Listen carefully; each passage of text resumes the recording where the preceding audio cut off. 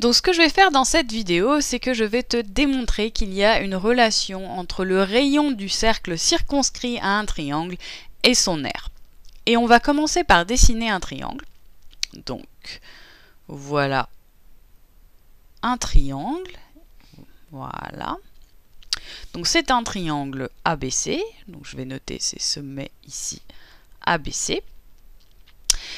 Et la première chose dont on va essayer de se rappeler ensemble, c'est quoi l'aire de ABC de ABC. Et l'aire de ABC, eh bien tu sais que c'est un demi de la hauteur par la base. Donc on va commencer par dessiner une hauteur. Donc on va ici dessiner la hauteur issue de B. Donc la hauteur, voilà, qui va couper la base, donc c'est-à-dire le côté qui est en face du sommet d'où part la hauteur, et qui va donc couper cette base-là perpendiculairement ici. Donc ça, c'est ma hauteur petit h. Et donc AC, c'est la base de cette hauteur ici. Et c'est donc petit b. Et donc l'aire de ABC, eh bien on sait que c'est un demi de la base par la hauteur. Voilà. Et il y a autre chose en fait qu'on a récemment vu, c'est que trois points suffisent à définir un cercle ici. Et plus précisément en fait le cercle qui est circonscrit à ce triangle là. Donc on va définir le cercle circonscrit ensemble. Donc voilà le cercle qui est circonscrit à mon triangle ici. Et je sais que le centre du cercle circonscrit à mon triangle, donc à peu près ici, voilà, c'est le point d'intersection des médiatrices de ce triangle. Et je vais appeler ce point-là O. Et ce qu'on va faire maintenant, c'est qu'on va tracer le diamètre de ce cercle là qui part de B. Donc le diamètre du cercle ici. Voilà. Et on va tracer un autre triangle qui est inscrit dans ce diamètre, qui est, pardon, et on va tracer un autre triangle qui est inscrit dans ce cercle et qui a pour côté le diamètre euh, ici. Donc je vais appeler juste le point là d'intersection avec le cercle D. Et on va créer le triangle ici ABD. Donc ABD. Voilà. Et donc ce triangle-là a pour côté le diamètre d'un cercle. Et tu as dû voir ça dans un des cours précédents, c'est que quand on a un triangle qui est inscrit dans un cercle et qui a pour côté le diamètre du cercle, alors c'est un triangle rectangle ici. Et donc ici, c'est rectangle, c'est un angle droit de 90 degrés. Et maintenant, si je regarde l'arc de cercle ici AB que je dessine en violet ici. Eh bien, l'arc de cercle AB ici est délimité par l'angle ACB, celui-là, ici. Donc on voit bien que l'angle délimite cet angle de cercle ici. Et il est délimité aussi par un autre, angle qui est l'angle ADB. Donc ADB, qui est cet angle ici. Et tu as dû voir dans ton cours de géométrie avant que euh, ici on pouvait appliquer donc le théorème de l'angle inscrit. C'est-à-dire que quand on a deux angles qui délimitent en fait la même portion d'arc, alors ces deux angles-là sont égaux. Donc c'est-à-dire que l'angle ADB est égal à l'angle ACB ici. Donc ADB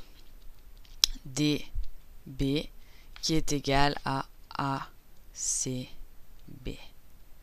Voilà. Et donc si on a ADB est égal à l'angle ACB, eh bien, ce qu'on peut voir, c'est que ce triangle-là, donc je vais noter ici l'intersection de la hauteur avec AC, je vais noter ça le point E. Donc ce triangle-là, c'est-à-dire le triangle BCE ici que je marque en bleu, donc ce triangle-là, le triangle BCE, on va montrer qu'il est semblable au triangle BAD. Et on sait qu'ils sont semblables parce qu'ils ont tous les deux un angle droit ici. Donc le triangle ABC est rectangle en A et le triangle BEC est rectangle en E. Et on sait aussi qu'ils ont un autre angle égal ici qui est l'angle ADB égal à ACB. Et donc ça veut dire que le troisième angle de ces triangles, donc c'est-à-dire, je vais prendre une autre couleur ici, en couleur rouge. Donc le troisième angle ici de ce triangle va être égal à l'angle ici de ce triangle. Donc on sait qu'ils ont leurs trois angles égaux. Donc ce que ça veut dire, c'est que si je prends, euh, si je prends A, B, D, ce triangle-là est semblable à E, B, C. Et donc on sait que ces triangles-là sont semblables, ce qui nous dit qu'il y a une relation entre les longueurs de ce triangle, entre les côtés. Et la relation, elle est la suivante. Donc on a AB sur BD qui va être égal à EB sur BC, ici. Voilà. Et maintenant, on va simplifier un petit peu cette notation. Donc on va regarder, on va appeler AB ici, on va appeler cette longueur-là A.